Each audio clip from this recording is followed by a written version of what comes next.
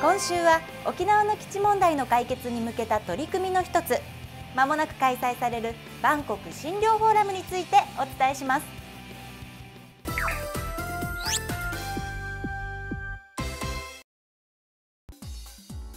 沖縄県にとって基地問題の解決は長年にわたる重要な課題です。本土復帰から40年が過ぎた今も日本全国の在日米軍専用施設のうちおよそ74%が沖縄に集中し私たち県民の生活にさまざまな影響を及ぼしています。こうした課題の解決には沖縄県だけではなく国民全体の課題として一緒に取り組む必要がありますが国民の理解が十分に得られていないのが現状です。そこで県では安全保障の調査研究に関する取り組みの一つとして昨年よりバンコク診療フォーラムを開催しています。日本をはじめ海外の国と地域から専門家を招き国際情勢に対する理解を深めながらアジア太平洋地域間の対話と理解の場を提供しています。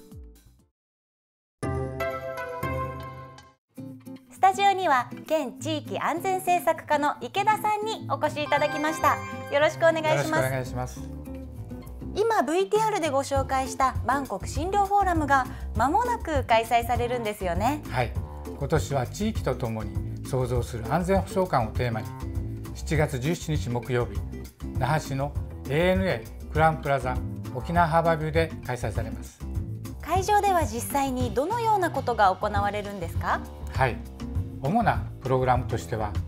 沖縄県と同様に米軍基地を抱える本土の地域神奈川県長崎県佐世保市青森県三沢市山口県岩国市の各自治体からそれぞれ市長副市長などをお招きして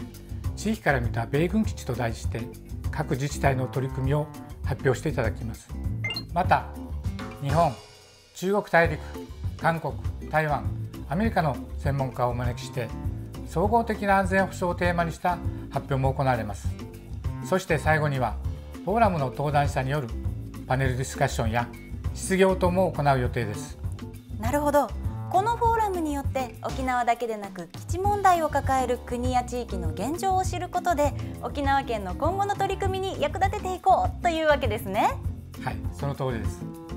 というわけでバンコク診療フォーラムの開催は7月17日です。事前に申し込みをすれば一般の方も無料で参加できますのでぜひお申し込みください。そして当日の模様はインターネットで生中継されるんですよね。はい。フォーラムの開催時間にご覧のホームページへアクセスしていただければご覧になれますし昨年のフォーラムの模様もアップしていますので遠方にお住まいの方で会場に来られないという方にもぜひご覧いただきたいと思います。わかりました。池田さん今日はありがとうございました。ありがとうございました。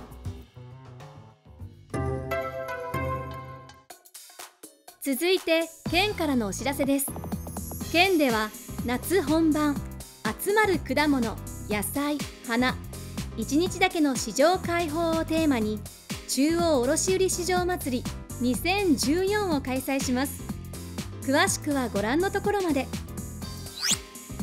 県では平成26年度の県営住宅空き家町入居者を募集します。詳しくはご覧のところまで。県では平成26年度沖縄県職員中級及び初級試験を9月28日日曜日に実施します。